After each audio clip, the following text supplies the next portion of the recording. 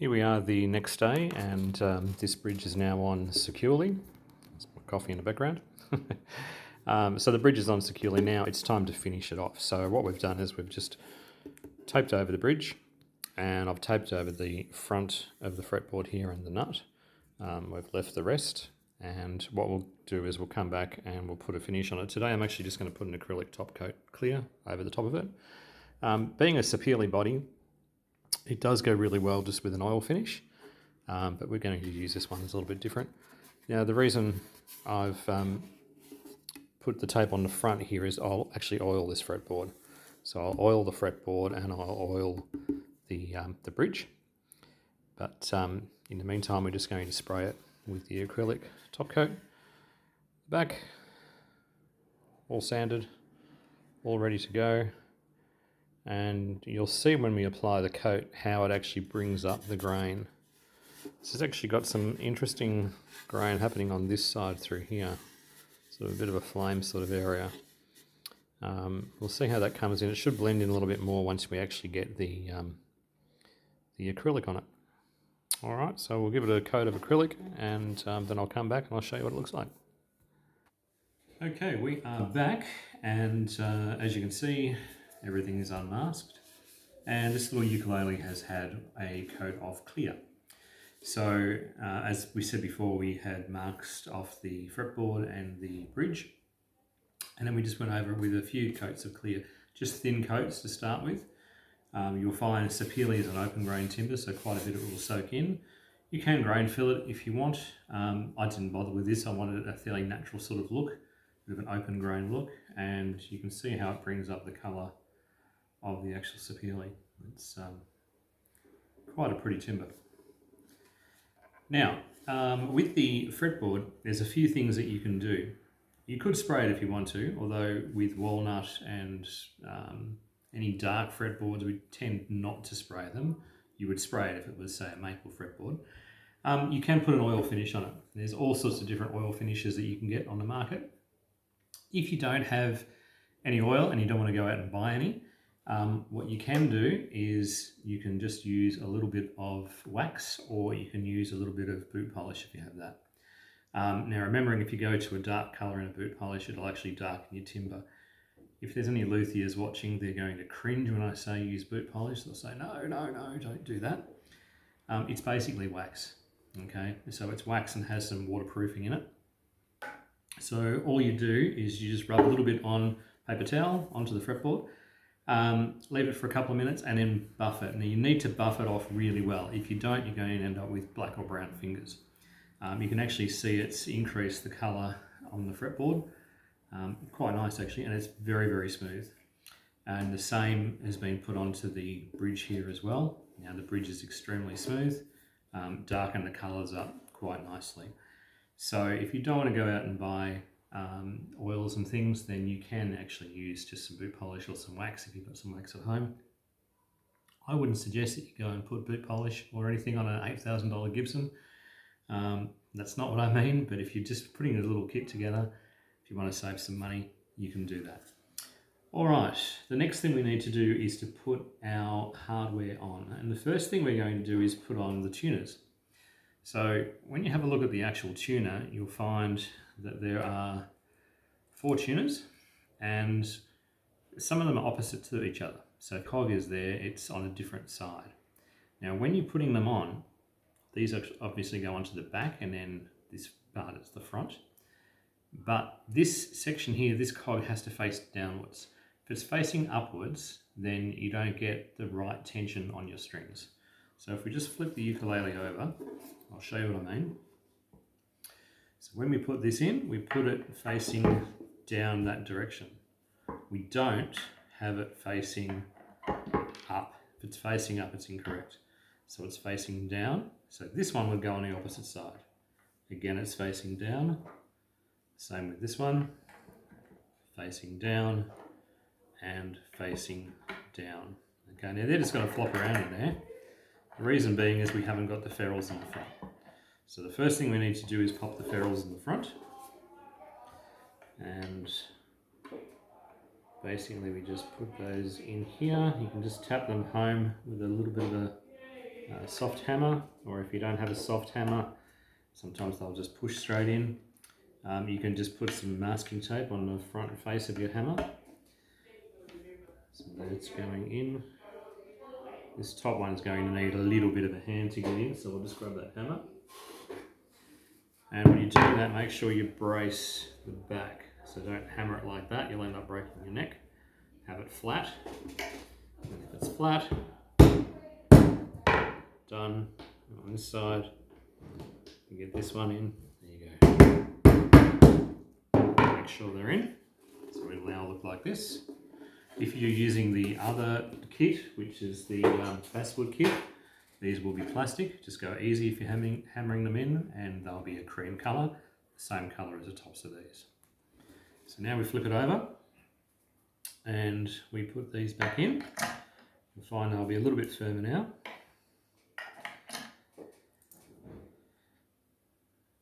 And there's no hard or fast rules with this, but you want to get them straight. Okay, you don't want them all crooked. You just want to get nice and straight.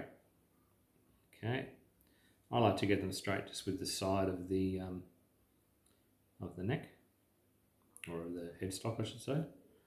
So they will be on a slight angle, if that makes sense, because the headstock's coming out. So as long as they're parallel with the side of that headstock, they'll look fine. Okay, now once you're happy with the position, um, you can mark them if you wish with a pencil.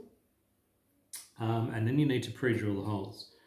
Um, I'm pre-drilling my holes with about a 1.2, sorry, a 1.5 mil drill bit. And you want to actually put a little bit of tape on your drill bit so you don't drill all the way through your headstock. So what we do, we grab some tape, like so. And we grab one of the screws and we just measure on the front here how long that actual screw is. And then we put a piece of tape the same depth as the screw. So that means that we won't be going any deeper. It's like a guide. We won't be going any deeper than what that screw is. Don't want to drill through the headstock.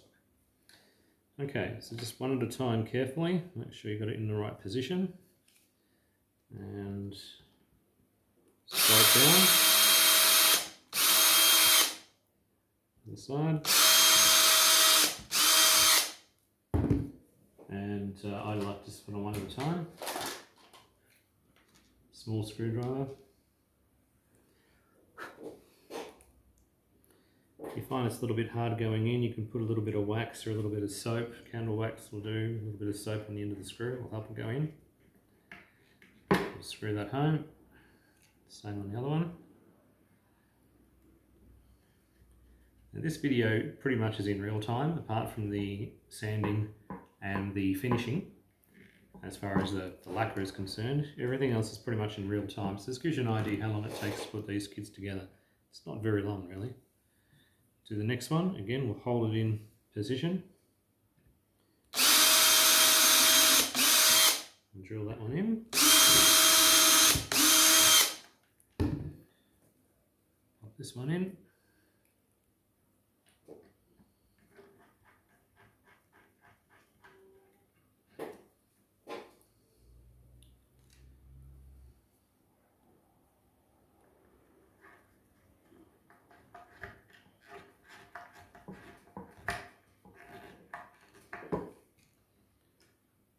Anyone's wondering on the actual screwdrivers that I'm using, these are little Kincrome screwdrivers.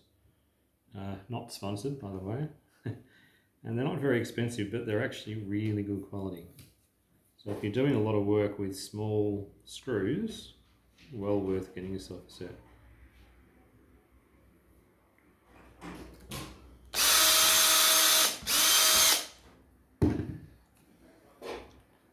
Sometimes it's easy just to do these one by one.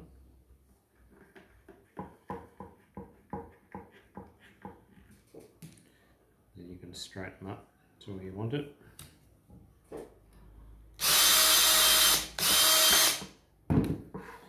Nearly there, two to go.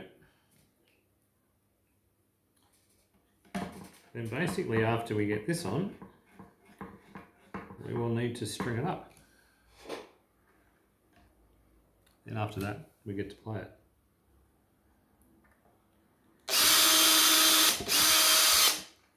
If you've never played a ukulele before, a great little instrument, very easy to play. Uh, one of the reasons for that is that there's only four strings, unlike a guitar which has six. Uh, but also the the way it's they're actually tuned. Uh, to, to give you an idea, to do a C chord, it's one finger, and an F chord. Let's do this the right way. So a C chord is one finger, an F chord is two fingers. Most people can learn a few chords in the first couple of days and able to play a song. So not many instruments you can do that. Okay. So that one's in. So that's what they look like at the back now. And then from the front, we look like that. Oh, there you go, from the front and from the back. Okay. I do have a little logo that I put on mine.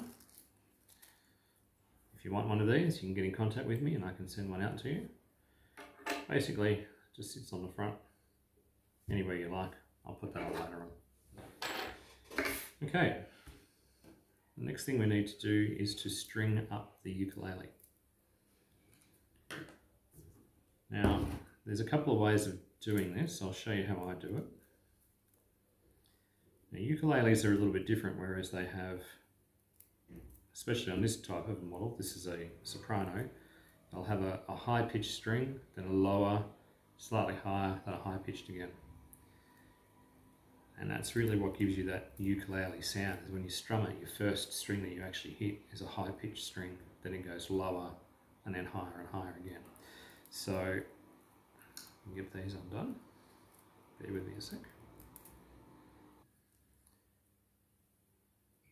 Okay, so once you've got your strings organized, you'll find that there's basically three different thicknesses. You've got two very fine strings, and then you've got a thicker string and a very thick string.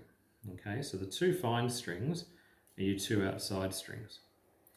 So we'll put one of the finer strings on first, and I usually like to go from the outside in. So see if we can get in here so you can see what we're doing.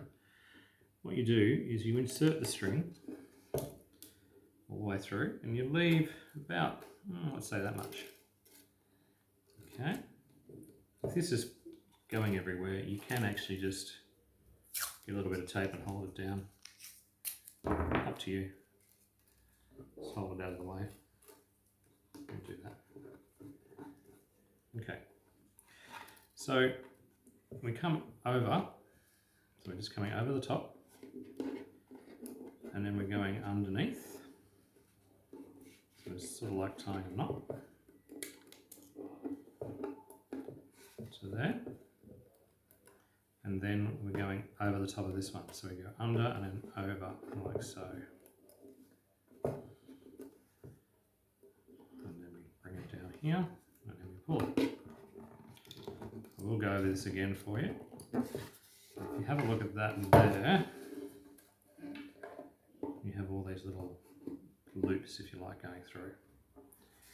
Once you have that there, keep some tension on it. Now there's a couple of ways again you can do it this end. You can either just pop it around and thread it around and then through the hole, or you can go through the hole first up to you which way you'd like to go. Some people go through the hole and tie a little knot.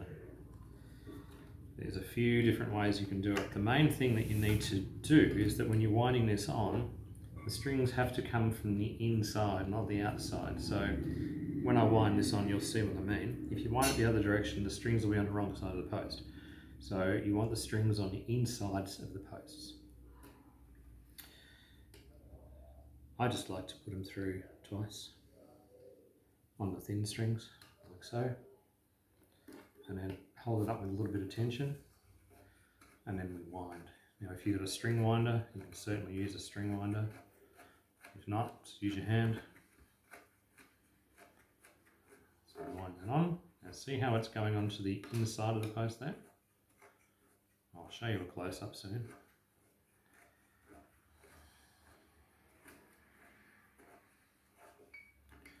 Once it's nearly under tension. I'm pushing this down because I want these wraps to go down, not up. So down the post. So if it just keeps a little bit of tension on there, push the string windings down. Okay.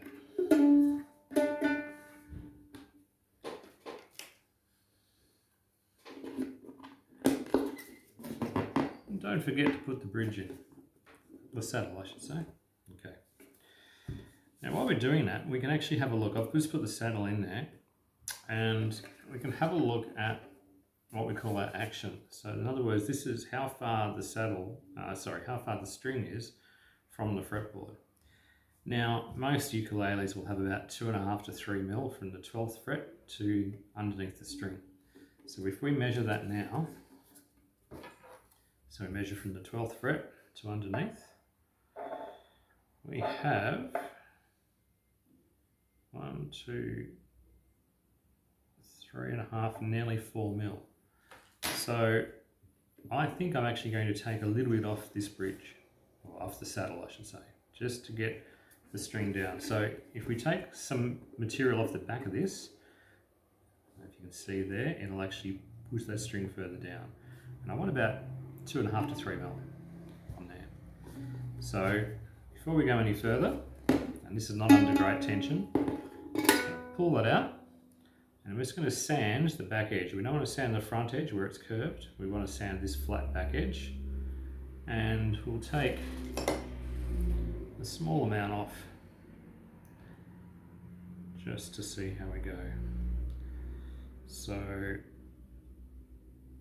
going to take off about half a mil. There's a couple of ways you can do it. You can grab yourself a vise and a file, grab your file, move that out of the way, and file it away. It's plastic, so it's going to file quite easily. Just to go through, just make sure it's, it's straight. Um, or you can stick a little piece of um, piece of sandpaper to your bench and file it by rubbing it backwards and forwards. Okay, I'm just going to do it with this file to start with, and then I'll probably go over it with a piece of sandpaper. So I'm not using, normally I'd use a little vise, but you can do it just in your hand. So let's just take this off first.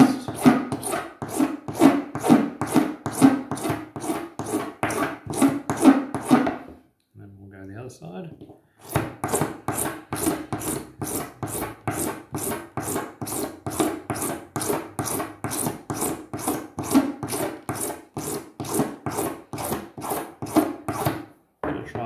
So you get it flat. You can also hold it on your file, backwards and forwards like so if you want. That'll make it flat. Just don't file your fingertips away.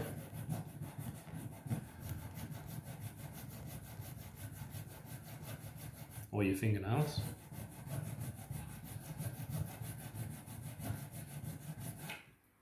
Let's see how we're going. We're nearly there. We've taken a little bit more off this middle part, so we'll come back and we'll just do that edge.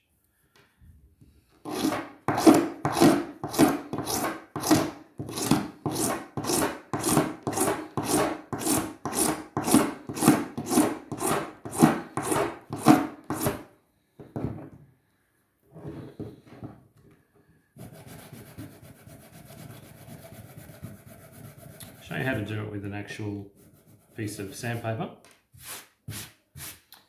So you can grab some sandpaper. Usually a heavier grit's a bit easier. Bear with me a second.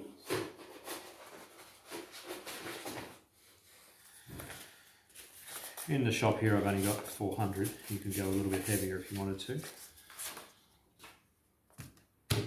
So we pop that down. and you can tape it if you want to. You can tape it onto your bench bit of tape. Doesn't really matter how you do it. Tape either side.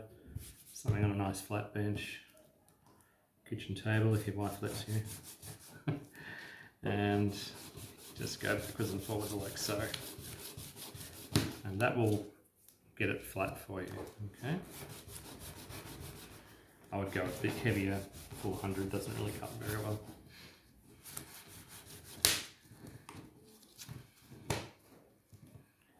Bit trickier.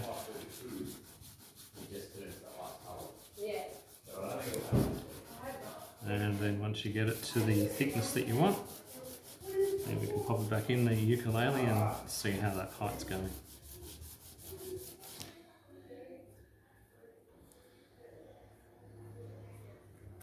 Okay. It's taken it down to where we want it.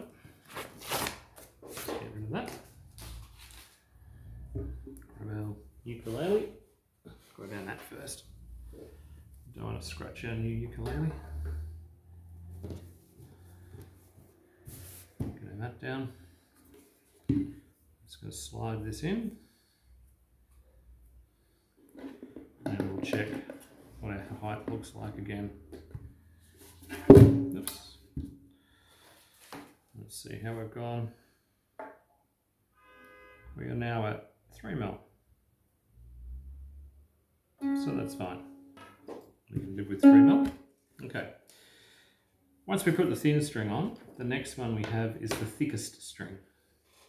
And we'll grab our thickest string and exactly the same thing. We'll pop it through, pop through the hole, leaving around about that much at the end. Again, I'm just going to pop a little bit of tape to hold it down that end for us. A bit easier. Sometimes they won't spring back, depends on how tightly they've been wound down. Okay. Now the same thing again, we come take two.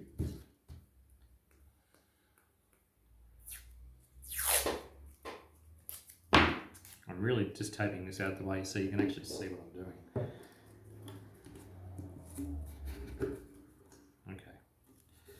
So we're straight down. We've got uh, probably a good four inches on the end there.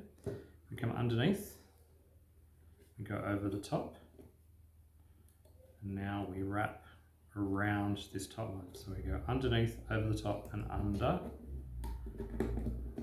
and then over, under, and over. Okay, so we've got a loop there. Now, see this little part we got here? If we pull this the other direction and we'll stick it inside that loop, that'll hold it all nice and firm for us. Okay, here we go. Pull it nice and tight. So see how we've gone there. So this one goes underneath. You don't have to, it just makes it a little bit neater and then come back with a pair of clippers and just clip off clip off that piece there from this one. Just so it neatens everything up. Then when we get to the other end we'll take it back through the other direction. Okay so take this off.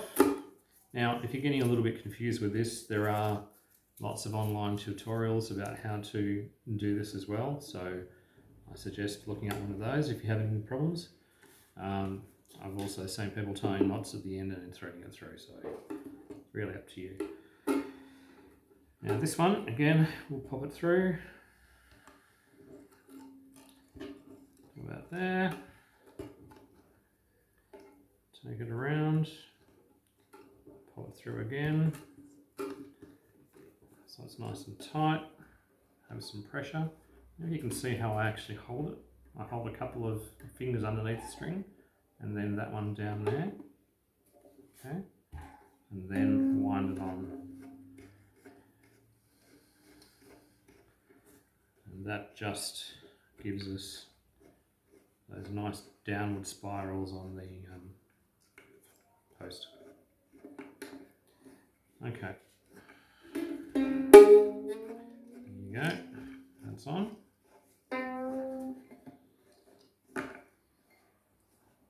Okay. Then we get our next thickest string. So our thinnest, our next one, our fattest, and then our next thickest goes next. So again, go through that hole there. Again, leaving about the same amount at the end there.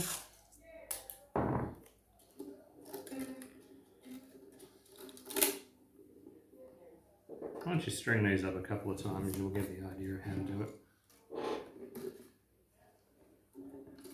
Okay. Under, over, under, and then over this over this side. Once. You can do it twice if you want. Hold it and then pull the string through. Again, catching this piece from the previous string underneath, pull it nice and tight. And then we go to the other peg on the other side. Okay, so this one here will go up to the top. So this string onto this one, our next string onto here, third string down up to the top, and then the highest string onto this one. Again, we're going from the inside, so it winds from the inside, not the outside. We'll pop that through, leave a little bit of slack, put it back through the hole, pull it tight. Again, same thing here. And sometimes you get a little bit confused which way you're winding this, but you want to wind it so the string's on the inside here, not on the outside. To me it feels backwards, but it's not. so we wind this one on. And after we do that, we've just got one more to put on.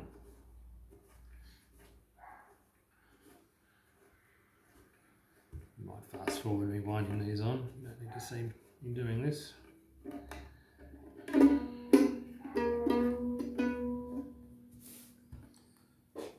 Okay, last string.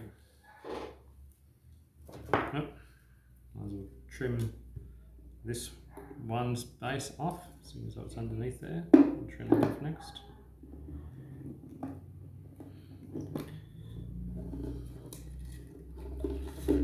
We've got sharper cutters.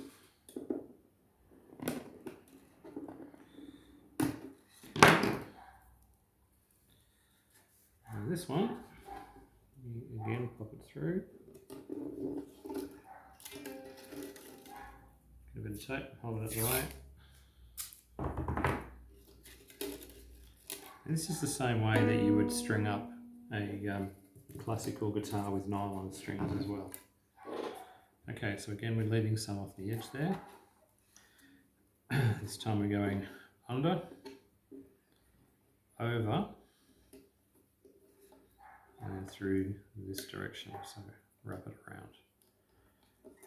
Okay, make sure we capture that little piece there.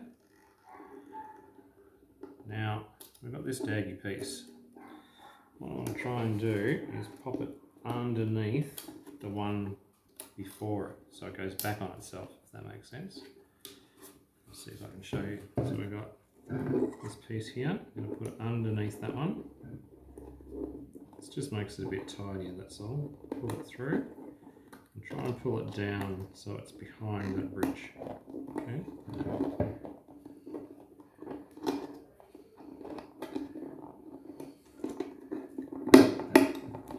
There you go.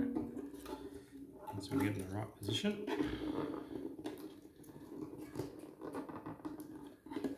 Might want to just take off a little bit of tension on the string next to it. Okay. Trim those off. And then I'm going to wind this one on. Again, we'll put it through. Wrap it around. Pop it through again. Pull it tight. Get some tension on that string. You're going to wind that string on.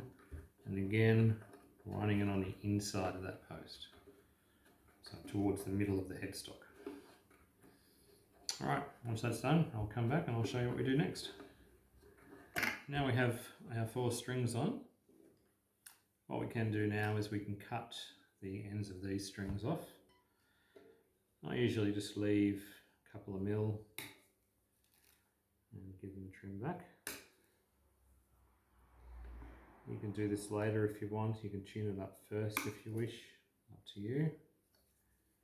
This is just how I do it. Okay. So now I'm looking nice and neat. And we're all looking nice and neat down here as well.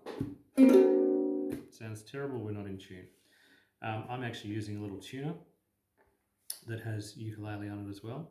Um, if you don't have one of a little tuner, you can use your phone. You can download an app that it has a tuning app on it, and uh, use that to tune it with. Now, with a ukulele, you'll find that the strings will stretch over the first few weeks. Really, um, we can help that basically by grabbing the strings and just stretching them up. Okay, giving a little bit of a pull, a bit of tension in there. They will actually stretch a fair bit. And go, what's going on? Especially those thin ones, stretch quite a lot. This will just help keep it in tune a little bit. So what you're doing when you're stretching, you're doing two things. First of all, you're stretching the string. You're also tightening up this area here and you're tightening it up at the um, at the tuner by, by pulling it, by putting a bit of tension on it. You can see how far this is coming up here. Okay, so once it's very loose now. So once we've got that done, we'll come through and we'll start to tune it.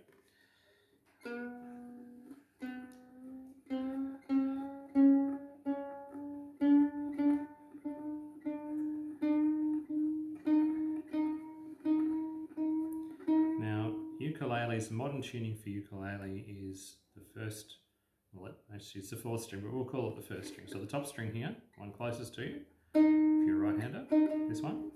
This is tuned to a G.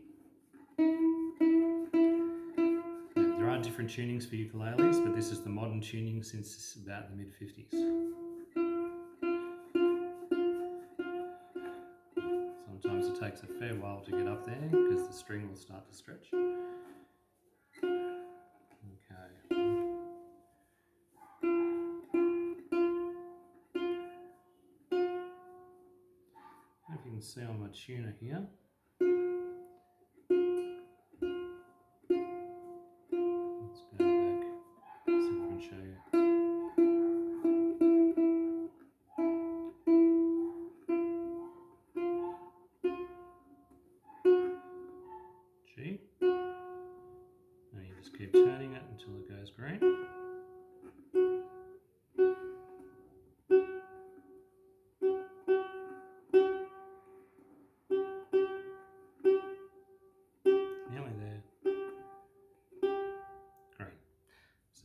In tune. It'll go back out of tune, but don't worry about it. The next one we do is C.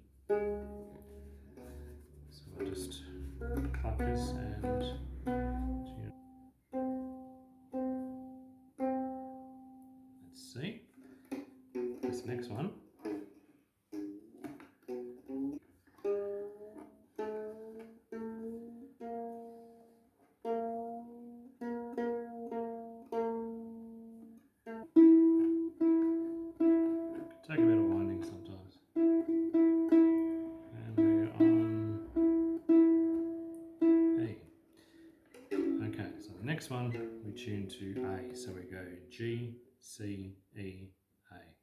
I'm going to pick it up to do this because I'm going to have to do a fair bit on do it the other direction.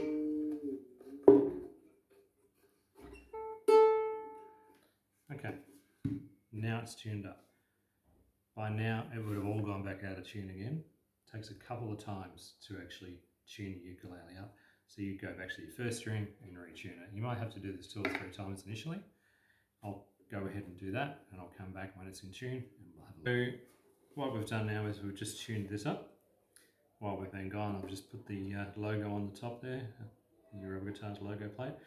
Um, this goes on the same as what the tuners do just drill two small pilot holes, then you can screw it down, making sure you don't drill through the headstock. So um, just come back through here and make sure this is in tune. So it's our G oops, mm. a C to G, C,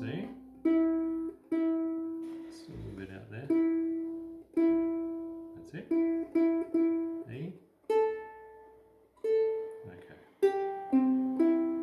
so that's how we tune, G, C, E, A.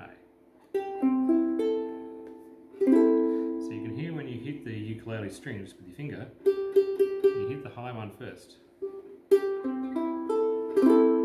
Use that classic ukulele sound. C chord, one finger on this first string here on the third fret, one finger down, C chord. Let's play an F chord, it's two fingers. Move these out the way for you. Back to the C chord.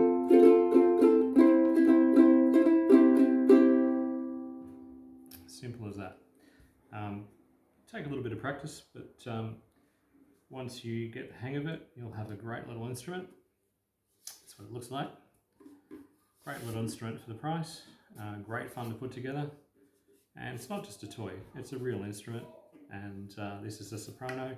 You might want to try making a bigger one later on. You might want to try making a kid guitar if you want. So, great little one to start with. Um, I'll show you the other uh, kit that we have. Now you can you can do what you like with these. So this just has a clear finish. You could stain the top if you want to. Um, you can dress it up by putting stickers on the front. There's there's lots of th different things you can actually do to make it your own. I'll show you this one here. So I'll just move this one out of the way. So this was one of the basswood kits. Um, I put this one together a little while ago. What I did with this one is I actually bound the top and the bottom. Um, quite a bit more work involved with it, but it gives you an idea of what you can do. So that's that one bound. The neck has been painted black and it's been um, distressed on the edges. Same as on the front here, a little bit of distressing on the front. And again, the fretboard has been painted black as well and it's been lacquered over the top. Okay, so totally different look, but two ukuleles, both kits, and you can make them to what you want. All right, I'm going to take some photos outside of this one, so stay tuned if you like. You'll see some photos outside and we'll give you an idea uh, how good this timber looks. See you soon.